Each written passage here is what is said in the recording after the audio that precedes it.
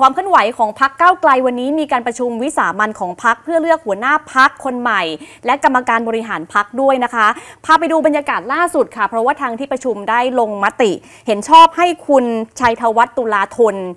เลขาของพักขยับขึ้นมาเป็นหัวหน้าพักคนใหม่เรียบร้อยแล้วตามคาดไหมคะก็เป็นไปตามคาดอืมนะคะ จริง ๆ มีแคนดิเดตอยู่ 3 คน แต่ชื่อของคุณชัยธวัฒน์เนี่ยนอนมาก่อนหน้านี้แล้ว พอประชุมกรรมการบริหารพักประชุมพักเสร็จเรียบร้อยแล้วเนี่ยคุณชัยธวัฒน์ก็มาแถลงข่าวกับสื่ออแล้วประโยคแรกที่พูดกับสื่อวันนี้บอกว่า นี่คือการปรับทัพแค่ชั่วคราวนะอ่าแสดงว่ามีสัญญาณบางอย่าง ปรับทัพแค่ค่ะชั่วคราวเท่านั้นนะคะ เพราะว่าคุณพิธาลิ้มเจริญรัตน์อดีตหัวหน้าพักไม่สามารถปฏิบัติหน้าที่สสได้ แล้วก็ไม่สามารถที่จะเป็นผู้นำฝ่ายค้านได้นะคะ ถ้าหากคุณพิธาสามารถกลับมาทำหน้าที่ในสภาได้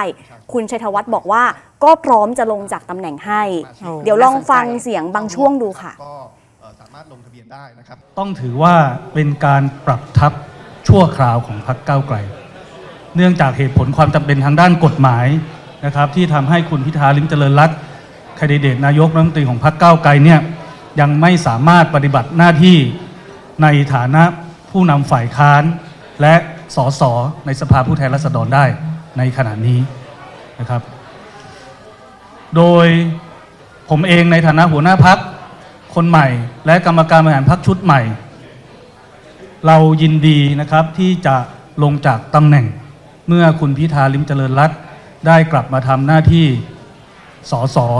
ในสภาได้อีกครั้ง สุนทรเลขาธิการพักค ก็ถือว่าตอบคำถามชัดเจนมาก เพราะก่อนหน้านี้หลายคนจะมีคำถามว่าถ้าเปลี่ยนหัวหน้าพักคนใหม่แล้ว คุณพิธาถ้าไม่ได้ติดเรื่องศาลไม่ได้ติดเรื่องคดีความจะกลับมานั่งเป็นหัวหน้าพักเหมือนเดิมได้หรือเปล่าค่ะคุณชัยธวัฒน์ก็เลยบอกกับสื่อตรงๆเลยวันนี้ บอกว่านี่คือการปรับทัพแค่ชั่วคราว ถ้าคุณพิธาสามารถกลับมาปฏิบัติหน้าที่ในสภาได้พร้อมลงจากตำแหน่งให้นะคะ ถือเป็นการถแถลงอย่างเป็นทางการของคุณชัยธวัฒน์ตุลาธน หัวหน้าพักก้าวไกลคนใหม่ วันนี้ต้องเรียกหัวหน้าพักแล้วนะคะค่ะหลังจากที่ประชุมวิสามันของพักได้มีการประชุมเลือกหัวหน้าพักและกรรมการบริหารพักนะคะ ซึ่งคุณชัยธวัฒน์ย้ำตั้งแต่คำแรกของการถแถลงเลยบอกว่าปรับทับชั่วคราวของพักก้าวไกลเท่านั้น มีเหตุผลความจำเป็นทางกฎหมาย ทำให้คุณพิธาลิ้มเจริญรัตอดีตหัวหน้าพักเก้าไกลไม่สามารถปฏิบัติหน้าที่ในฐานะผู้นำฝ่ายค้านและสสในขณะนี้ได้ ในฐานะหัวหน้าพักเก้าไกลคนใหม่ และกรรมการบริหารพักชุดใหม่ ยินดีที่จะลงจากตำแหน่งเมื่อคุณพิธากลับมาทำหน้าที่สสในสภาได้อีกครั้ง นอกจากนี้คุณชัยธวัฒน์ยังบอกด้วยว่า นอกจากขึ้นมาทำหน้าที่เป็นหัวหน้าพักคนใหม่แล้ว หลังจากนี้ ก็จะไปทำหน้าที่ในฐานะผู้นำฝ่ายค้านในสภาด้วยเช่นเดียวกัน นักข่าวก็ถามแล้วภารกิจแรกหลังจากนี้ทางพักเก้าวไกลได้วางแผนเอาไว้แล้วหรือยังว่าจะทำอะไรบ้าง คุณชัยธวัฒน์บอกว่าภารกิจแรกของการเป็นผู้นำฝ่ายค้าน คือจะต้องไปเชิญพักร่วมฝ่ายค้านทุกพักมาพูดคุยกันก่อน เพื่อวางแนวทางการทำงานนะคะ และต้องการให้ทีมงานเป็นเอกภาพ รวมทั้งการเสนอชื่อแต่งตั้งวิปฝ่ายค้านด้วย เพื่อให้ประธานสภาได้แต่งตั้งอย่างเป็นทางการค่ะ นะครับพักก้าวไกลเท่านั้นนะก็ภารกิจแรกของผู้นำฝ่ายค้านก็คงจะต้องเชิญพักร่วมฝ่ายค้านทุกพักนะครับ เพื่อมาหารือและวางแนวทางในการทำงานร่วมกันอย่างเป็นเอกภาพหลังจากนี้นะครับ อันนี้ก็คงทำนะครับ แล้วก็จัดวางทีมงานของฝ่ายค้านกันอย่างเป็นเอกภาพ รวมถึงภารกิจจำเป็นเฉพาะหน้าของผู้นำฝ่ายค้านก็คือการเสนอชื่อแต่งตั้งนะครับวิปฝ่ายค้าน พื่อให้ประธานสภาแต่งตั้งอย่างเป็นทางการนะครับ เพื่อทำให้การทำงานในสภาผู้แทนราษฎร มีการประสานงานกันได้อย่างสมบูรณ์ ไปก้าวไกลทั้งแผ่นดินจริงๆ คุณชัยธวัฒน์ก็เป็นที่รู้จักอยู่แล้วนะคะ แต่ว่าพอได้ขึ้นตำแหน่งเป็นหัวหน้าพักหลายคนก็จับตา แล้วก็ย้อนไปดูประวัติกันว่ามีที่มาที่ไปยังไงไปบ้างค่ะ ถ้าย้อนไปประวัติของนายชัยธวัฒน์เนี่ยอะปัจจุบันนะคะอายุ 44 ปีแล้ว ประสบการณ์ทำงานก็มีมาตั้งแต่ปี 2545 ถึง 2561 เป็นบรรณาธิการสำนักพิมพ์ฟ้าเดียวกันค่ะ ปี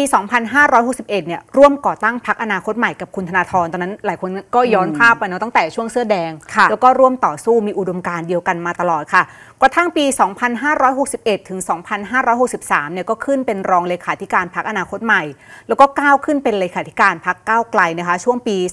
2563 ถึง 2566 ส่วนล่าสุดหลังการเลือกตั้งเนี่ยก็ได้เป็นสสสมัยแรก แล้วก็ขึ้นเป็นหัวหน้าพักอนาคตใหม่คนล่าสุดค่ะค่ะ คุณชัยธวัฒน์ถือเป็นบุคคลที่มีความรู้ความสามารถคนหนึ่งของพรรคก้าวไกลเลยนะคะ เรียกว่าเป็นสารตั้งต้นของการตั้งพรรคอนาคตใหม่ ตั้งแต่เริ่มต้นเลยก็ว่าได้ เพราะว่าคุณชัยธวัฒน์เนี่ยเป็นคนที่สนิทกับคุณธนาธรจึงรุ่งเรืองกิจ อดีตหัวหน้าพักอนาคตใหม่ด้วย ในอดีตช่วงที่เคยเป็นนักเรียนด้วยกันเนี่ยคือคุณชัยธวัฒน์เนี่ยเรียนเตรียมอุดม ที่กทม กับคุณธนาธรเนี่ยแหละ แล้วก็มีโอกาสได้ทำกิจกรรมทางการเมืองด้วยกันตั้งแต่สมัยนั้นเลย คือเรียกว่าเป็นเพื่อนคู่คิดเลยนะคะ เข้าไปร่วมกิจกรรมสาพันธ์นิสิตนักศึกษาแห่งประเทศไทยด้วยกัน เคยร่วมชุมนุมกับคนเสื้อแดงเมื่อปี 53 แล้วก็สนิทสนมกับคุณธนาธรมาก ๆ ก่อนที่จะหารือกัน แล้วก็มาตั้ง พักอนาคตใหม่ด้วยกันเนี่ยแหละ หลังจากที่มีการรัฐประหารเมื่อปี 57 คุณชัยธวัฒน์จึงอาจถือได้ว่าเป็นผู้นำทางจิตวิญญาณของพักอีกคนหนึ่งเลยก็ว่าได้ ก็คือรองจากคุณธนาธรแล้วก็ภาพนี้ใช่ค่ะเรามักจะเห็นมีการเอามาแชร์กันอืมว่า จริง ๆ เป็นหนึ่งในคนที่ร่วมก่อตั้งใช่แล้วก็ใช่เป็นค่ะเหมือนสารตั้งต้นของพรรคอนาคตใหม่เลยเนาะติดตาม PPTV HD 36 ได้ทุกช่องทาง และอย่าลืมกด Subscribe พร้อมกดกระดิ่งแจ้งเตือนด้วยนะครับ จะได้ไม่พลาดข่าวสารและคอนเทนต์ดีๆอีกมากมาย